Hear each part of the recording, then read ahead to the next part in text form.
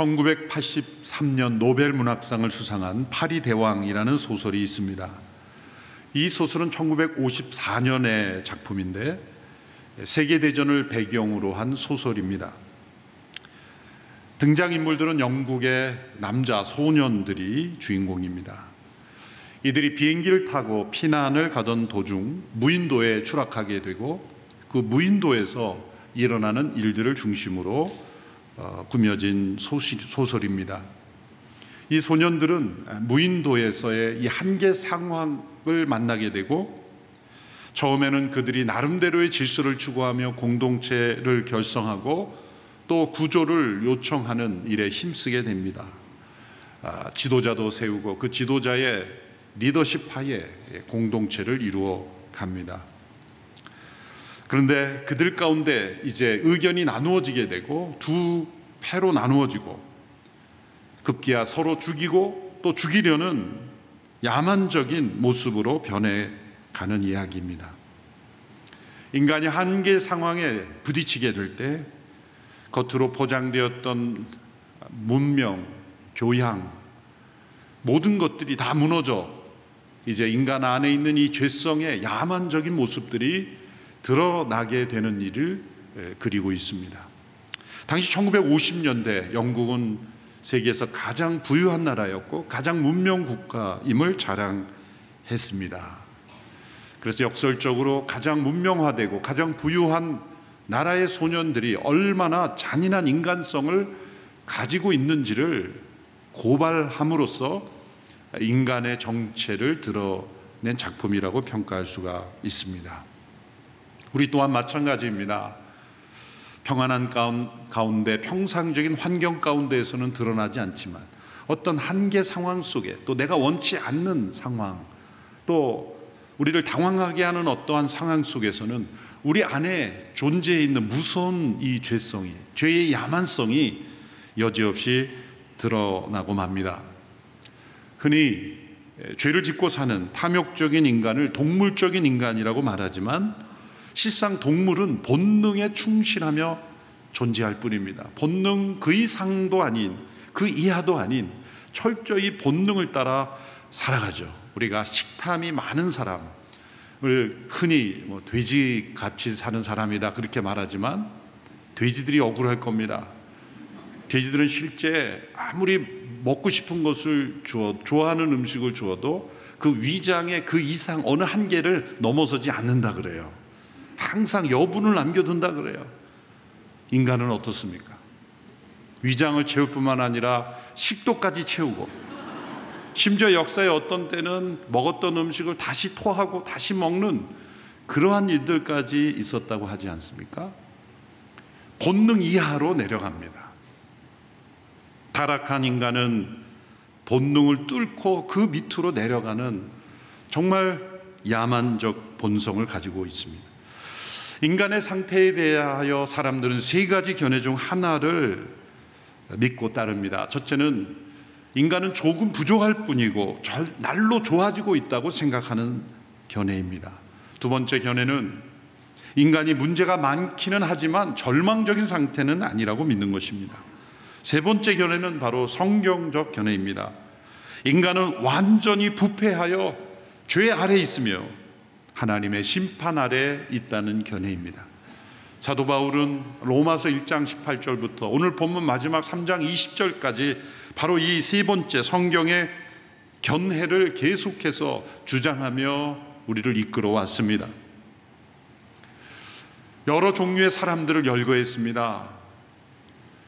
뻔뻔스러운 죄를 지으며 탐욕스럽게 살아가는 이방인들의 모습, 또 남들보다 더 낫다고 여기며 다른 사람들을 판단하면서 도덕주의자임을 자처하는 사람들의 위선, 그리고 하나님의 율법을 받은 유대인들이 얼마나 자기 과신과 교만과 위선에 빠져 있는지를 고발했습니다.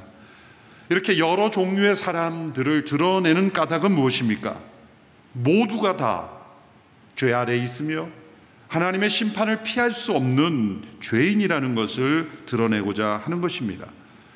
이제 오늘 본문 9절에 이르러 이제 결론을 내야 될 때가 왔다라는 질문을 던지며 이런 말씀으로 시작합니다. 9절 말씀 우리 같이 읽겠습니다. 시작. 그러면 무슨 말을 해야 하겠습니까? 우리가 더 낫습니까? 결코 그렇지 않습니다.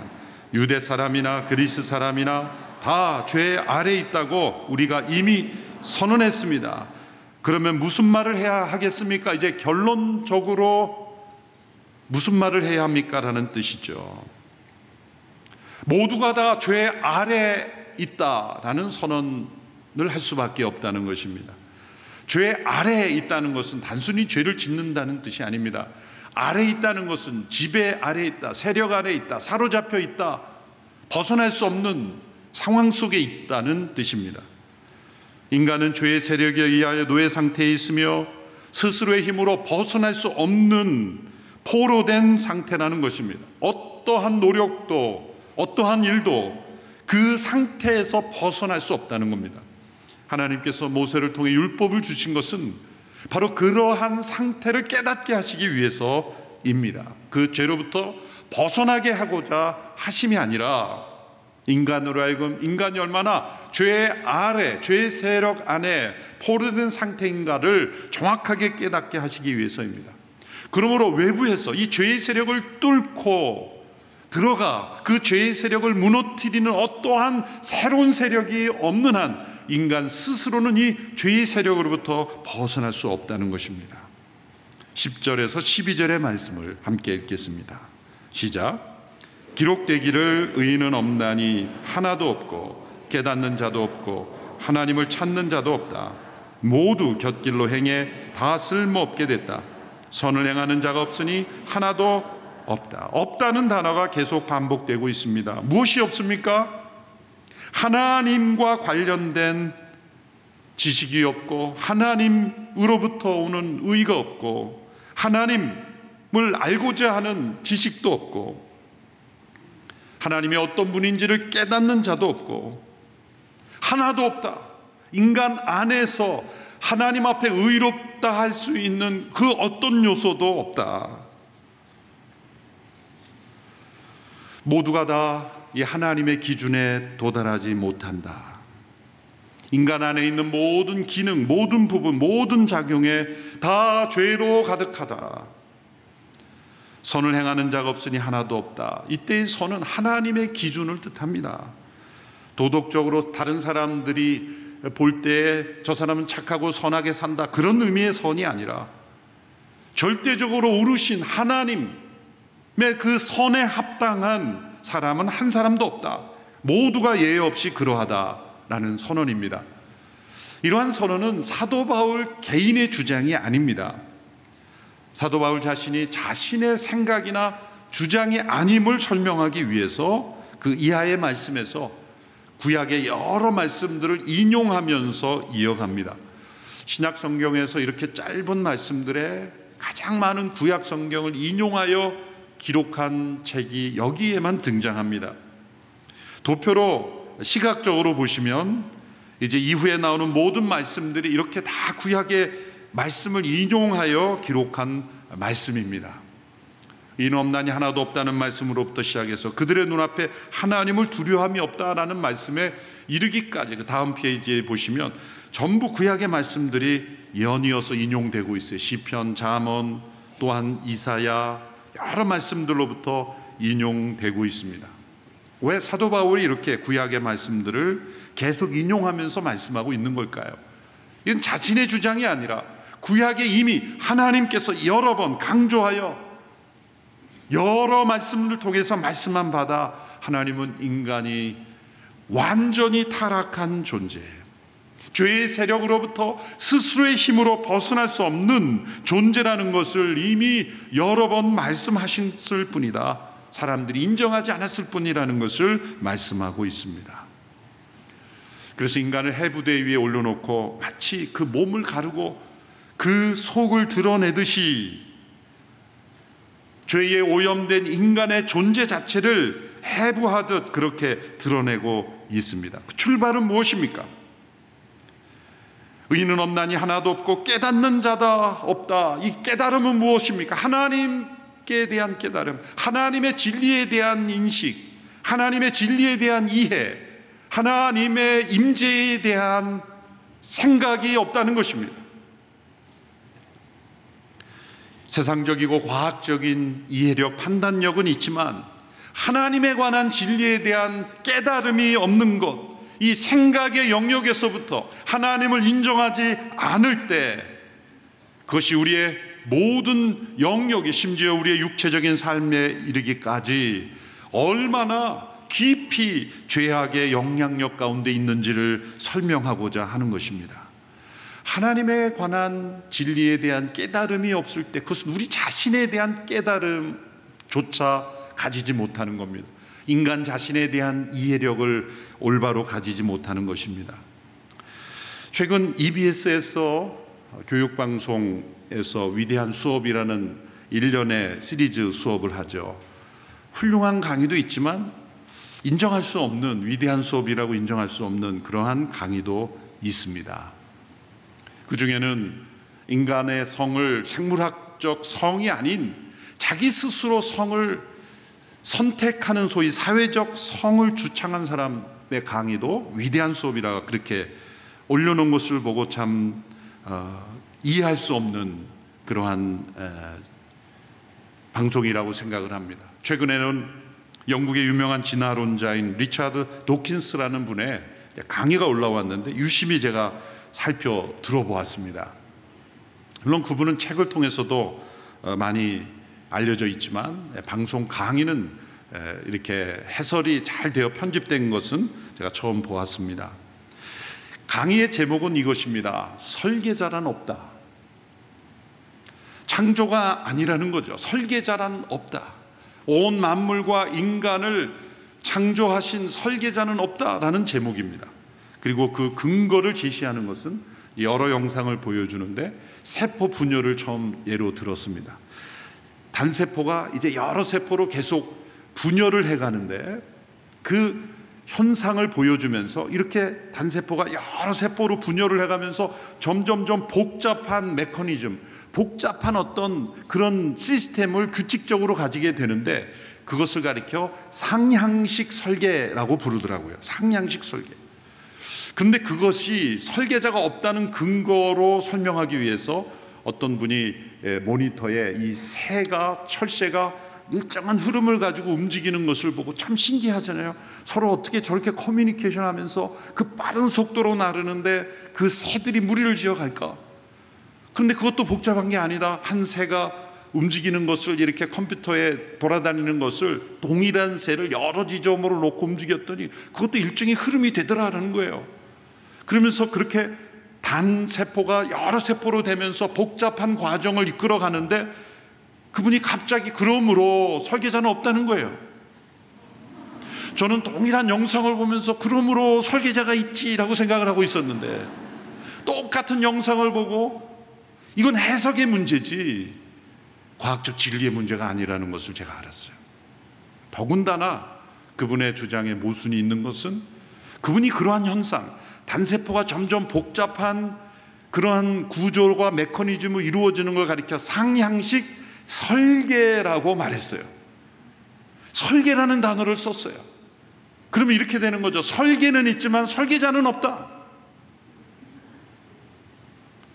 사람들은 책을 많이 쓰고 많은 사람에게 알려줬으면 진리를 말한다고 착각합니다. 여러분 분별해야 합니다. 물론 사회에서 도킨스의 말을 믿겠습니까? 이재훈의 말을 믿겠습니까? 라고 설문하면 틀림없이 많은 사람들이 그래도 도킨스지 이재훈이 누군가라고 틀림없이 말하겠죠. 그러나 저를 믿으라는 게 아니라 하나님의 말씀을 믿으십시오. 그분의 주장은 틀렸습니다. 단세포가 점점 복잡해지는데 어떻게 그냥 분열할 뿐인데 그것이 어떻게 복잡한 질서를 이룹니까? 그 질서가 우연히 만들어졌습니까? 그런데 그분이 빠뜨린, 빠뜨린 것이 또 한 가지 있어요. 인간은 단순한 세포 분열로 물질의 분열로만 그 질서를 움직이는 것이 아니라 인간에게 있는 도덕 감정, 윤리 의식, 옳고 그름을 추구하는 양심은 어디서부터 온 것입니까? 그것은 세포 분열에서 설명할 수 없는 거예요. 단순한 세포 분열로 복잡성이 그것은 단순하게 이루어질 수 있다라고 할치다 한들도 양심은 어디서 오는 겁니까? 정신의 도덕적인 감정은 어디서 오는 겁니까? 인간에게 있는 불안과 두려움, 기쁨과 행복, 그 도덕적 감정은 세포 분열과는 전혀 상관없는 거예요. 아무리 그것을 상향식 설계라고 해도 그것은 위로부터 우리를 디자인하고 설계하고 인간을 자신을 닮도록 창조하신 도덕적이고 의로우시고 선하신 절대적인 창조주의 설계자가 있기 때문에 가능한 것입니다. 그러므로 설계자가 없다는 말을 강의 제목으로 하면서 상향식 설계라는 말을 쓰는 그 모순을 대중 방송에서 많은 사람들에게 위대한 수업이라고 그렇게 알리는 것이 얼마나 모순입니까? 하나님을 찾지 않으니 인간 자신에 대한 이해를 왜곡되게 하는 것이 저는 그 강의를 보면서 확신을 가지게 된 것이 있습니다. 설계자가 있다고 믿는 것이 설계자가 없다고 믿는 것보다 훨씬 더 쉬운 믿음이라는 거예요. 여러분 이 세상과 인간을 설계하시고 창조하신 분이 없다고 믿는 것이 훨씬 더 어려운 믿음이에요. 훨씬 더 어려운 믿음이고 훨씬 더 강한 믿음이에요. 무신론은 강한 믿음이에요. 하나님이 없다고 믿는 겁니다. 여러분 설계자가 있다고 믿는 것이 훨씬 더 합리적입니다. 사도 바울은 인간이 처럼 하나님에 대한 깨달음이 없고 어리석은 가운데 처했을 때 인간의 모든 신체까지도 다 죄에 스며들어 있는 존재가 된다는 거 설명합니다. 목구멍은 열린 무덤과 같다. 무덤이 열렸으니 얼마나 썩은 냄새가 나겠습니까? 혀는 거짓말을 말하고 입술은 독사의 독을 뿜어댄다. 왜 이 언어의 능력을 가장 먼저 말했을까요? 하나님이 말씀하시는 하나님이시요 그 말씀을 들은 인간이 그 말씀을 왜곡함으로 거짓을 말하고 변명하고 왜곡하고 하나님의 말씀에 인간의 언어로 대항했기 때문이라는 겁니다. 그 결과 우리의 모든 삶에 우리의 발걸음에 죄악이 들어왔고 우리의 길은 파멸과 참담의 길이 되었습니다. 평강의 길을 잃어버렸습니다. 그리고 우리의 눈은 하나님을 두려워함이 없게 되었습니다. 인간은 죄 가운데 있으면서도 거룩하시고 심판하시는 하나님을 두려워하지 않게 되었습니다. 하나님을 두려워하지 않게 되면 어떻게 됩니까? 하나님 이외의 모든 것이 다 두렵습니다. 사람이 두렵고 우상이 두렵고 심지어는 강과 바다, 산과 해와 달과 별들, 심지어는 벌레도 두렵고 죽음이 두렵습니다. 하나님을 두려워하지 않게 될 때 모든 것을 두려워하게 됩니다. 반대로 하나님을 두려워하게 되면 그 어떤 것도 두렵지 않습니다. 우리의 눈에 하나님을 두려워함이 회복되기를 바랍니다. 너무나 안타까운 소식이죠. 우리가 태어날 때부터 이렇게 우리의 눈에 하나님을 두려워함이 없고 우리의 목구멍은 열린 무덤 같고 혀는 거짓을 말하고 입술은 독사의 독이 가득하다. 갓 태어난 그 아기의 그 정말 천사 같은 순진무구한 깨끗한 아기를 보면서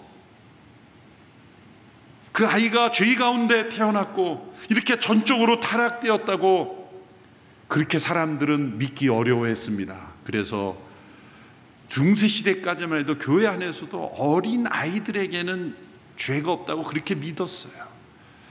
그래서 원래 이 중세 시대 소년 소녀 합창단이 많이 발전했잖아요. 수백 년 된. 왜 그 아이들의 합창단을 했냐면 어린 아이들의 목소리는 죄가 없다고 믿었기 때문이에요.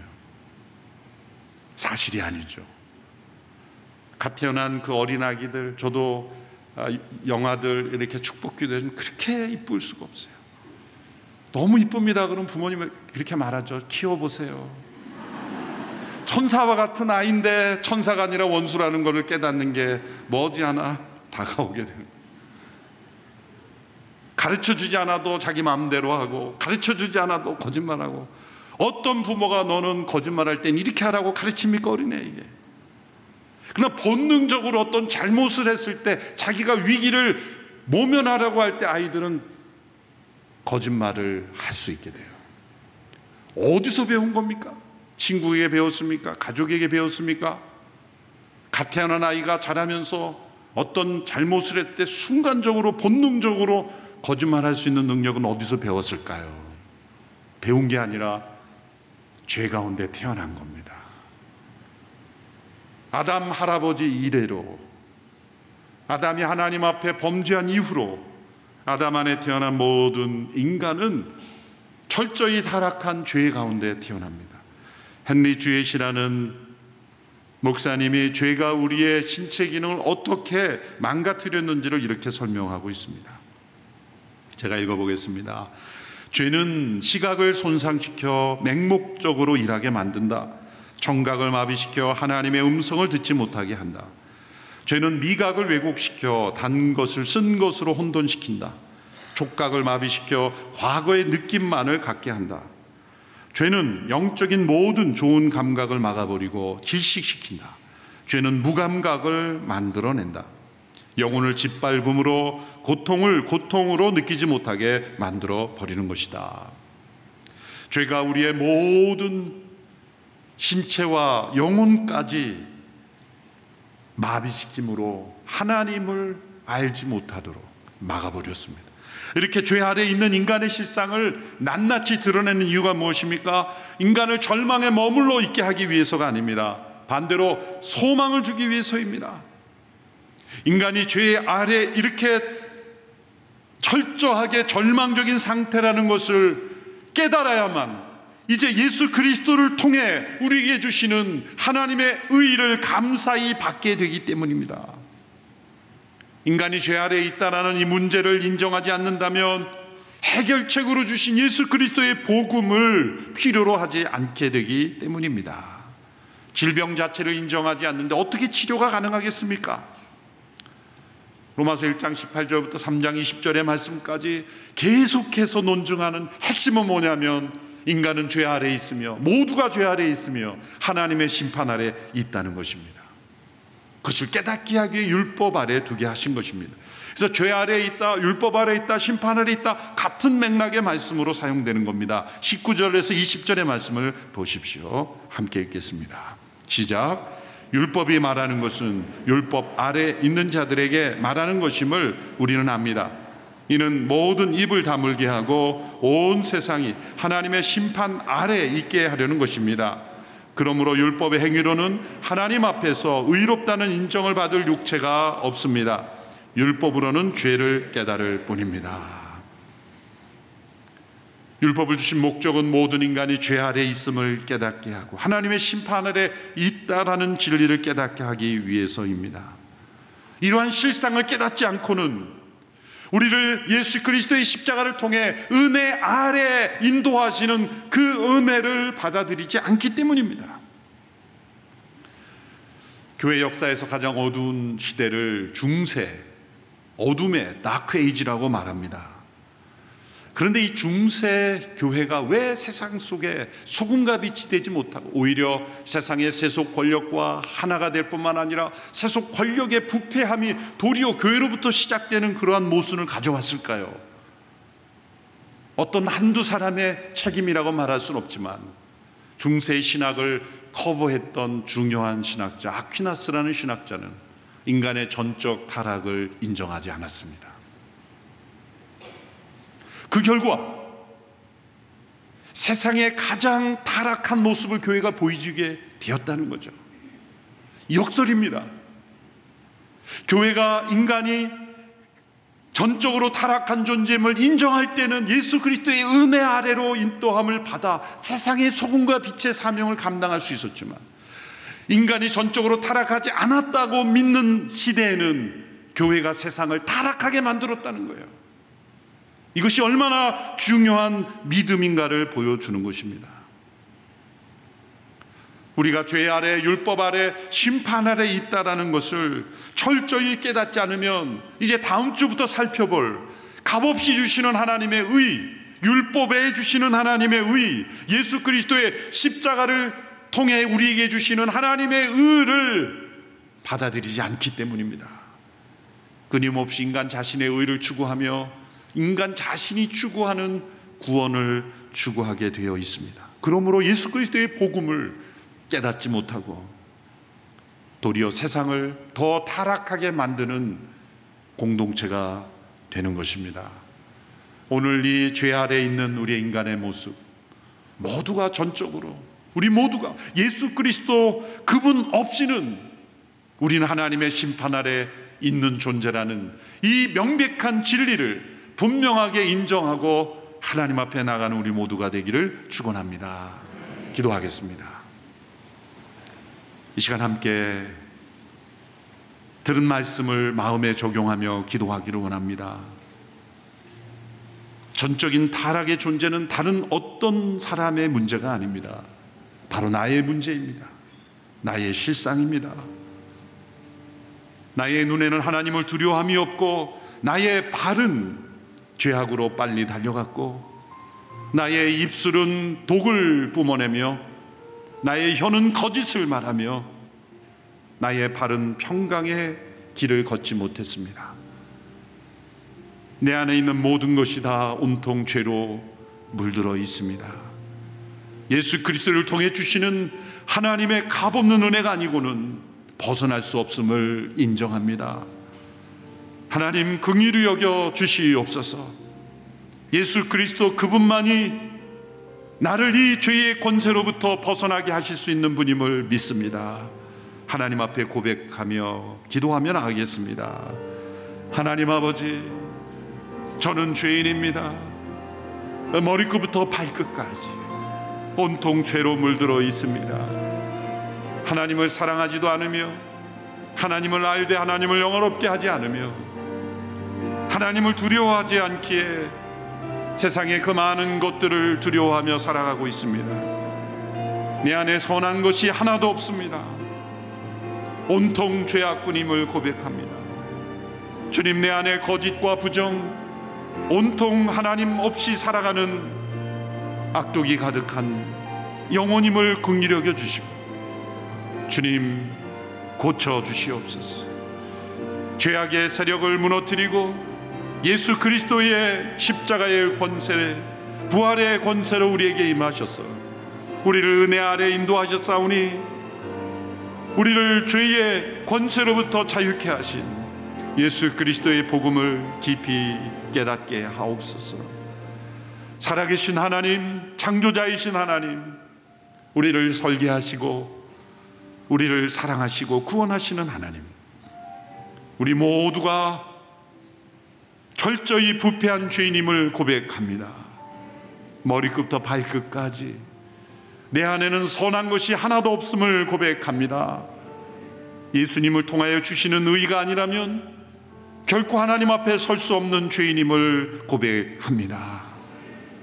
값없이 주시는 하나님의 의를 갈망하는 저희들 되게 하시고 예수 그리스도께서 우리를 은혜 아래 인도하셨음을 놀라워하며 기뻐하는 저희들 되게 하여 주시옵소서. 예수님의 이름으로 기도하옵나이다. 아멘.